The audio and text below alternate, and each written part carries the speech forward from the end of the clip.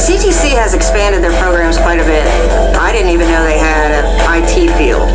And you can pretty much graduate CTC with a CCNA, which is basically a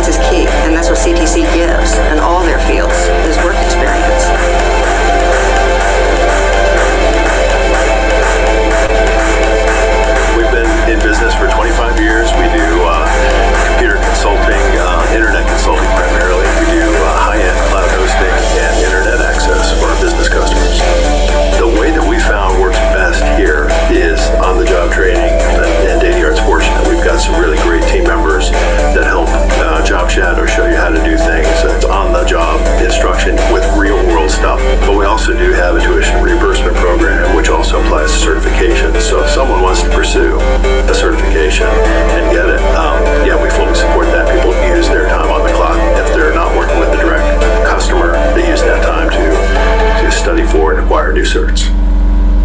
Most people without a lot of experience start out at the technician level, which is help desk typically, and uh, from there they move into an administrative role. And administrators have more depth than a technician, but yet they're not really architecting new solutions. Then you get to the engineer level; those are the people you go to when you have problems and you don't know how to solve it. Um, so Tommy's right now at that at administrator level, and as he gets additional certifications and more job experience, he'll he'll move up into that engineer level.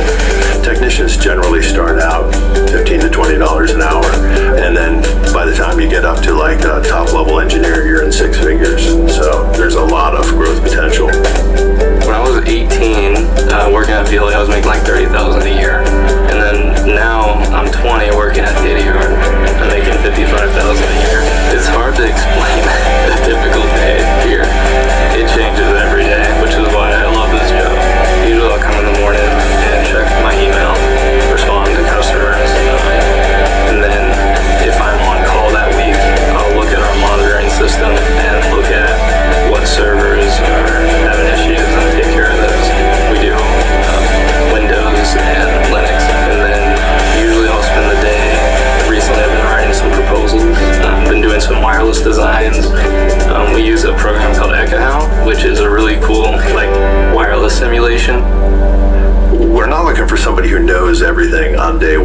Looking for someone who has curiosity, uh, tenacity, meaning they don't give up easy, uh, flexibility, because technology